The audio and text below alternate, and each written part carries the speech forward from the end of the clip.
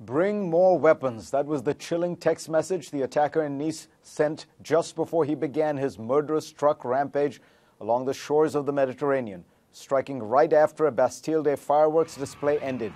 He killed more than 80 people before he was stopped, about a mile after he began. How can we protect ourselves from future attacks like this?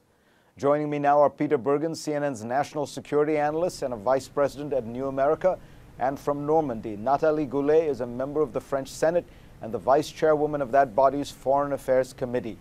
Uh, Madame Goulet, can you explain what are the lessons that France, that French authorities are drawing from what happened in Nice? Well, I think that the main point is that um, we, we cannot predict everything. And, you know, what happened in Nice was not predictable at all. And I think that it's a very challenging time for the politician. And um, we, we have to keep um, our head on our shoulders and try to weigh the investigation. And it's very, very difficult because the, the people now, they are very angry and very sad.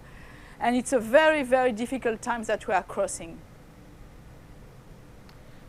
Peter, um, when, when Jake Tapper asked uh, John Kerry about ISIS, uh, they got into an exchange where uh, John Kerry said, look, ISIS is on the retreat. Uh, it is losing territory. It is losing finances. Uh, and Jake Tapper said, yes, but it doesn't appear that way to the public because of these terror attacks.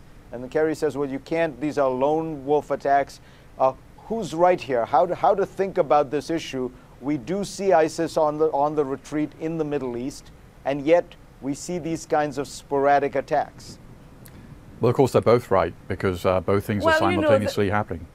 Um, we, we've seen ISIS lose up to 50% of its territory in Iraq and 20% in Syria, and yet at the same time, uh, ISIS has directed or inspired attacks uh, across the West, um, and these things are happening simultaneously and will continue to happen.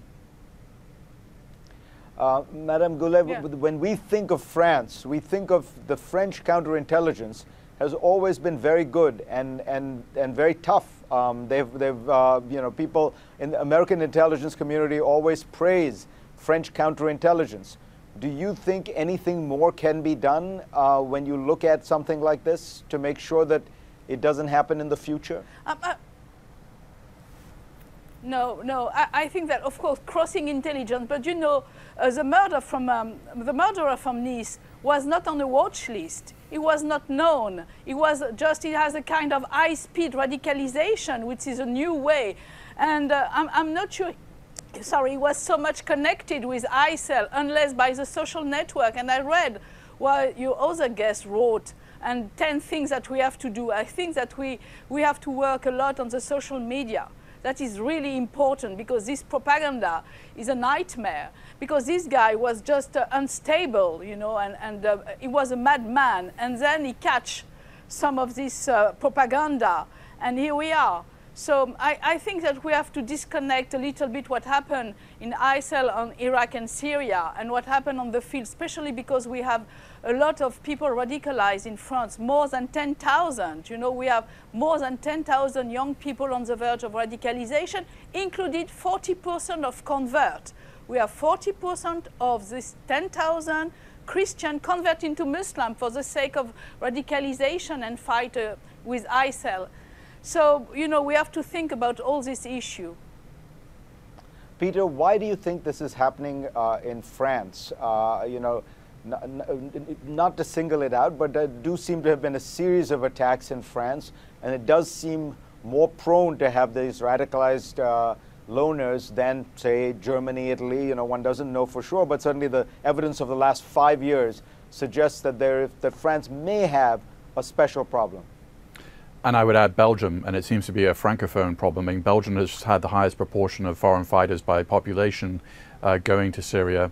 Uh, France has had the largest number of uh, Western, uh, any Western country of uh, going to Syria and, and, joining ISIS and other militant groups. And uh, the fact that something like 60% of the French prison population is Muslim and yet only around 8% of the entire population is Muslim reflects the kind of marginalization and criminal nature uh, the, of, uh, of this problem. And if you look at all these attacks, Fareed, uh, one thing that invariably ties them together, including the Nice attack, is that they've either been involved in petty crime or have spent significant time for serious crime in French or Belgian prisons. Um, Madame Goulet, Yeah, does but that's, that, that, how, do you, how do you solve that problem of alienation or marginalization? You know, not, not ever to say that it justifies any kind of terrorism, but is it part of, is part of the solution to deal with this alienation? Oh, absolutely, because you know we have a, a breach of the citizen link.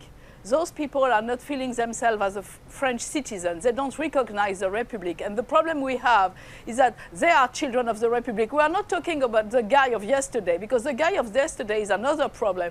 You cannot put in on the watch, you cannot put all those people on the watch list. I mean, there, he, he, he had no previous link with terrorism before the day before yesterday.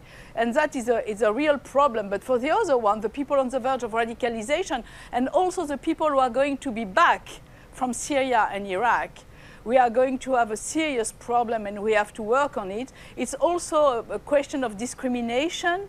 Uh, it's also um, a problem of international um, um, policy, how they felt, and it's also the problematic of the secularism in France. You know, we are, um, uh, let's say, um, uh, military secularist, and that may create uh, the feeling for the Muslim that the French law is against Muslim or against Islam, and that is also a problem.